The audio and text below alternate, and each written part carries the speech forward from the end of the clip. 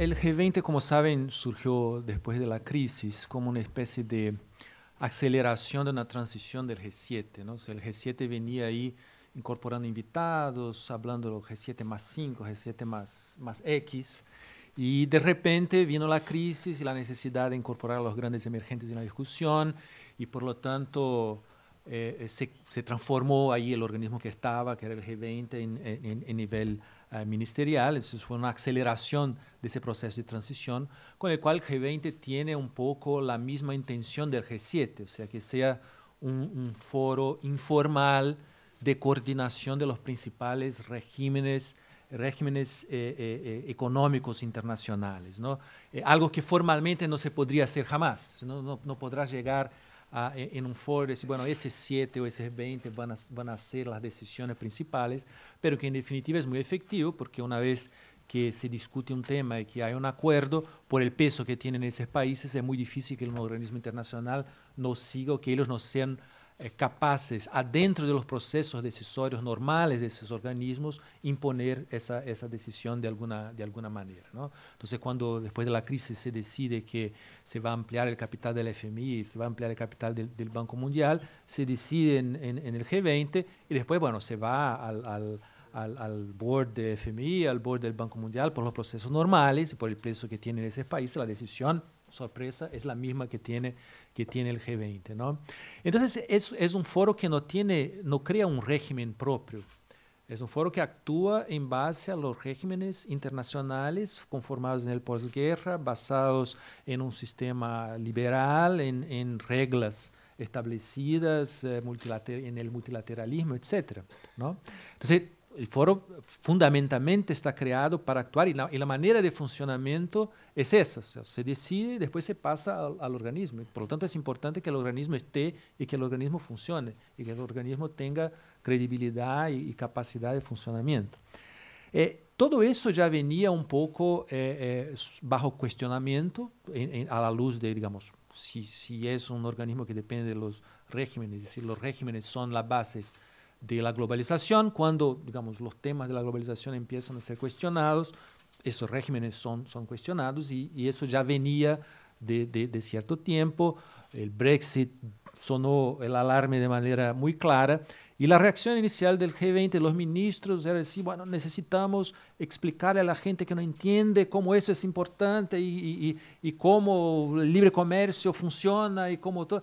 O sea, había un, cierto grado de, negación en el sentido de no ver que algún tipo de problema hay.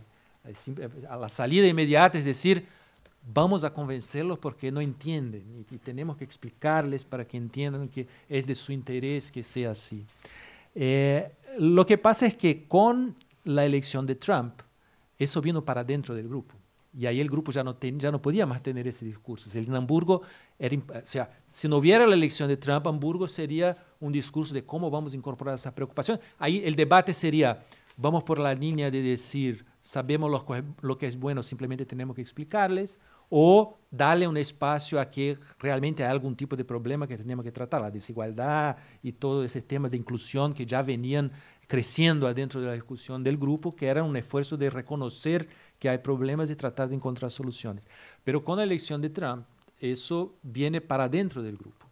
Entonces el ejercicio de Hamburgo, que bien caracterizaba Pedro, que hay mucho el no dicho, muchas veces en la, en la discusión yo dije, mire, eh, si nadie dice afuera de la sala que estaba esa palabra, yo puedo aceptar el texto sin esa palabra, porque ahí no van a saber qué fue lo que se sacó y, y el texto parece, parece bien como, como, queda, como queda al final. ¿no? Solo para darles un ejemplo, en determinado momento el representante de Estados Unidos defendía que uh, la referencia en el párrafo de comercio debería ser no a, al sistema multilateral de comercio, sino a un sistema internacional de comercio para tener la idea de cómo en la, en la guerra de las palabras se estaba expresando la, el cuestionamiento de, del orden. Eh, yo puedo decir que básicamente en todos los párrafos propuestos por Alemania inicialmente, Estados Unidos tenía algún tipo de problema. Todos. O sea, había, había, creo que había uno, no sé si era el de terrorismo o algo así, que, que, que no tenían un problema, pero después en la declaración un poco más... De, después, después en la declaración el tema de las Naciones Unidas fue todo un problema, pero... Eh, eh, a cada punto tenía un problema. El sistema comercial tenía muchos problemas, cambio climático sabemos por el resultado final, que fue el único punto donde no logramos tener un texto unificado. Eh, el tema de la Agenda 2030, que uno pensaría, bueno, la Agenda 2030, todo les gusta, etc.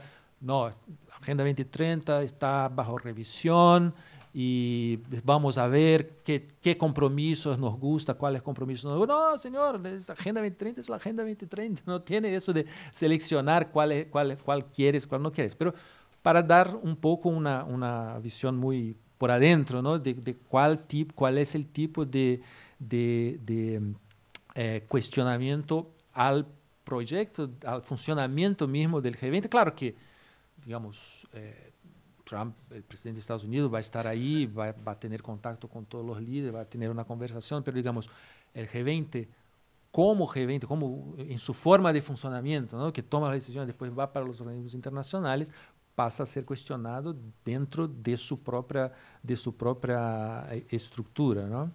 É, e aí, bueno, que que que hacemos, não? O sea, é, resistimos a essa desconstrução, aceptamos, adaptamos. o esforço de Hamburgo foi um pouco minimizarlo, não? Como eu dizia, o sea, temos uma declaração que logra ter párrafos leíbles e que uno lê e que está, está bien, no está mal, el párrafo de comercio no está tan mal, etcétera, el párrafo de desarrollo puede ser, eh, eh, eh, que es un esfuerzo un poco de adaptación y manutención de lo que está. Con el agravante que uno todavía no sabe hasta qué punto viene el cuestionamiento a esos regímenes. Si tomamos la OMC, aparentemente, y por las declaraciones que vemos, no hay un esfuerzo de destruir la OMC, sim, pero sí un esfuerzo, un, una, un, cuestionamiento de su manera de funcionamiento muy fuerte que introduce tensiones importantes y sobre todo una resistencia muy grande a la conformación de nuevas normas internacionales. En ese sentido, yo creo que, yo diría que no hay mucho espacio hoy para norm makers en ningún lado, ¿no? Y, y tampoco en el G20. O sea, no, va, no vas a tener espacio para crear nuevas grandes construcciones, eh, vas a tener suerte si logras terminar las que se venían construyendo, por ejemplo, en la regulación financiera y toda esa parte, y, si logras evitar que eh, se deshagan, porque, por ejemplo, en la regulación financiera había un gran temor por las declaraciones anteriores que hubiera un ataque a lo que se había logrado. Por ahora, otra vez, se mantiene, lo, donde se llegó, se llegó, pero avanzar uh, más adelante por un cierto tiempo va a ser, va a ser un, un poco difícil, ¿no? Eh, en, ese, en, ese, en ese cuadro uno puede decir, bueno, los países de la región, los tres que están acá y los demás, todos tienen interés en preservar el multilateralismo, en combater las tendencias proteccionistas, eh, luchar por el desarrollo sostenible, etc. Pero todo eso se va a hacer un poco en ese marco de cuestionamiento. Ahora, ahí en términos de la participación de los países en desarrollo, de los países de la región, yo creo que hay dos, dos cuestiones acá. Una eh, más sustantiva, otra, eh, digamos, de, de, proceso, ¿no? Eh, la sustantiva es que eh, esos problemas, no, no el de Trump específicamente, pero el problema que ya existían de cuestionamiento, eh, vienen justamente de la incorporación de los grandes países emergentes en el orden. O sea, el, el, el, el G20 incorpora esos países porque no se puede más tomar decisiones sin ellos, Pero eso genera tensiones muy, muy grandes entre los que estaban acostumbrados a tomar las decisiones y los que están entrando y quieren participar de esa toma de decisiones. Y eso está claro en la discusión de, eh, de, de los cupos en el FMI. O sea, se logra un primer movimiento, pero inmediatamente cuando se va a pasar al segundo movimiento, Europa lo tranca y, y resiste de manera tremenda y el Estados Unidos tarda tres, cuatro años para, para ratificar la reforma que había y, y ahí se para el tema. Y, y, y si pensamos en comercio, la, la, la, el malestar en los países desarrollados viene de que, bueno, ahora tienen que competir con otros países que también, que también evolucionaron, que están compitiendo, que, que viene China, que viene México, que viene Brasil, etc. ¿no? Y, y, y entonces, eh, eh, o sea, pensar que se puede tener un, un, una agenda muy fuerte y, y llegar a grandes conclusiones es difícil. En ese sentido, yo creo que, claro, eh, la opción de Argentina por decir, bueno, está el tema de infraestructura que ya venía con un cierto histórico de tratamiento que sigue siendo un problema real, vamos, vamos a ver qué se puede hacer. El tema del futuro de trabajo, skills, etcétera, es algo que todos tienen, que puede ser una agenda convergente, entonces vamos a ver si, si ahí por, lo, por, lo, por, lo, por los puntos de posible convergencia se puede avanzar mientras se resiste en el otro y se evita que, que se desarme. ¿no? Ahora, el tema, el tema más procesual en términos de participación, digamos, de la región, etcétera, es que eh, el G20 no es un foro con mandato, por no ser un foro formal, no es un foro de constituencies, o sea, yo no represento a nadie, yo no tengo mandato de nadie, salvo de Brasil, así mismo, ¿no? hasta cierto punto. ¿no?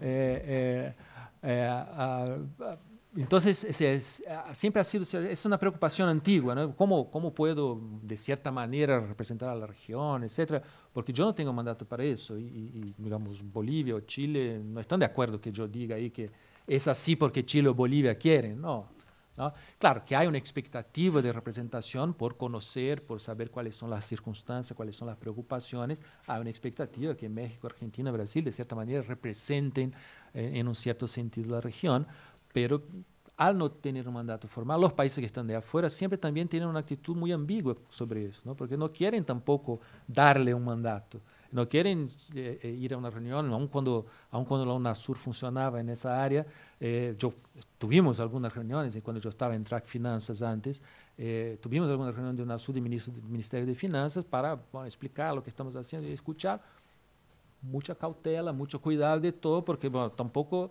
yo que no estoy quiero darle un mandato para que Brasil vaya y diga que está hablando en mi nombre, ¿no? porque no, como, no tengo, como no hay una representación formal. Entonces hay, hay una dificultad eh, procesual para ese ejercicio. Yo creo que lo, que se puede hacer es lo que dice Pedro, o sea, hay que escuchar lo que quieran, lo que estén dispuestos a, a, transmitir y bueno, tener buen, buen senso, no sé cómo se dice en español, eh, para, para, para traducir hasta cierto punto eh, lo que uno ve alrededor, lo que está pasando y ver cómo eso puede eh, en, en, en, el ejercicio. Gracias. Bueno, muchísimas gracias.